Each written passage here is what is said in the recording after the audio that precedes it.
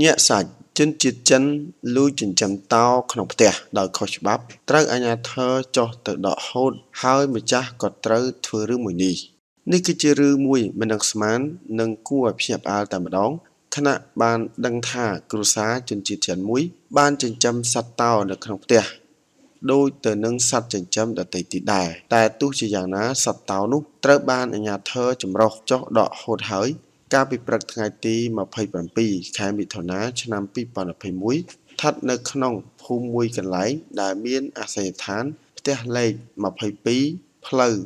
306ភូមិ7សង្កាត់បឹងកេងកង1ខណ្ឌបឹងកេងកងរាជធានីភ្នំពេញក្នុងប្រតិបត្តិការដកហូតសត្វតោឈ្មោះនោះផងដែរក៏ធ្វើឡើងក្រោមការដឹកនាំលោកគំសៃហាអភិបាលខណ្ឌរដ្ឋបាល ព្រៃឈើភ្នំពេញសហការជាមួយនឹងអាជ្ញាធរអមសាលាដំបងរាជធានីភ្នំពេញនិងបានចូលរួមពីអង្គការសម្ព័ន្ធសត្វព្រៃ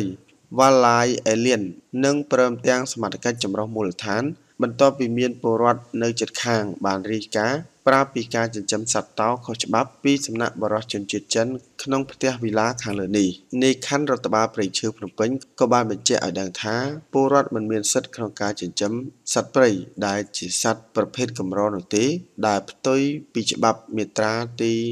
49នៃច្បាប់ស្តីពីព្រៃឈើកថាខណ្ឌ2ត្រង់ចំណុច3ដែលចែងថាការយកធ្វើជាកម្មសិទ្ធិសន្និធិឬថែរក្សាជាលក្ខណៈសួនសត្វ ឬគ្រួសារនៅប្រភេទសត្វក្នុងក្រុមចិត្តផុតពូជត្រូវបានហាមឃាត់ដែលឡែកបើយោងតាមគណនី Facebook Wildlife Alien បានបង្ហោះសារឲ្យដឹងថាសត្វតោឈ្មោះនេះគឺត្រូវបានម្ចាស់ផ្ទះជនជាតិចិននោះយកមកចិញ្ចឹមតាំងពីកូនតូចម្លេះដែលនៅពេលនេះវាមានអាយុ1ឆ្នាំកន្លះហើយ និង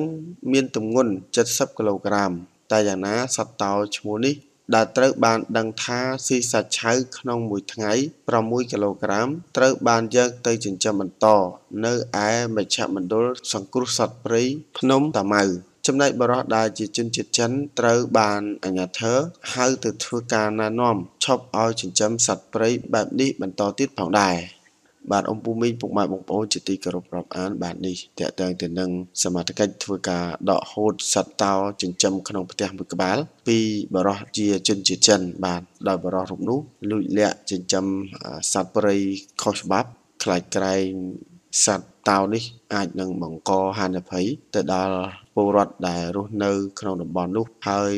ណាមួយការចិញ្ចឹមសត្វព្រៃនេះ ក៏វាផ្ទុយទៅនឹងច្បាប់នៅក្នុងប្រទេសកម្ពុជាអញ្ចឹងហើយបានអាជ្ញាធរក៏សម្រេចដកហូតយកសត្វតោនេះ ទៅថែរក្សា